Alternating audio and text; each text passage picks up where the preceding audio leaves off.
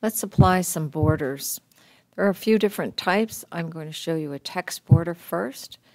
Uh, for a text border, you need to select some text. I'll just double click on this word.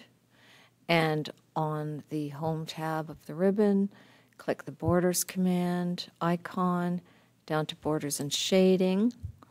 And it's smart enough to know that I selected text, so it's going to apply it to the text, although I could override to a paragraph, but this is what I want. I just need to tell it what I would like. So I want a box border that is a red color.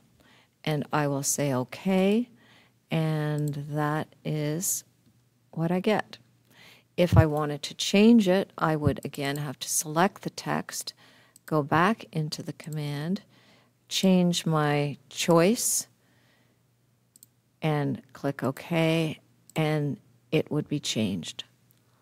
The next one I'll show is the paragraph border. You don't have to select any text. It is just going to put the border on this, the paragraph that the insertion point is currently on.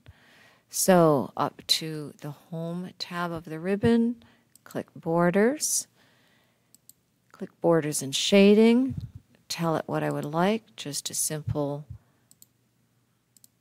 black box, which is going to be three points. You can see in the preview uh, what I'm going to get. You can see it's applied to the paragraph. It was smart enough to to know I didn't have anything selected, therefore I must want to put it around the paragraph.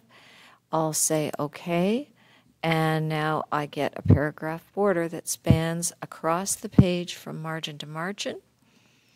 And in the next video, I'll show you the uh, page borders.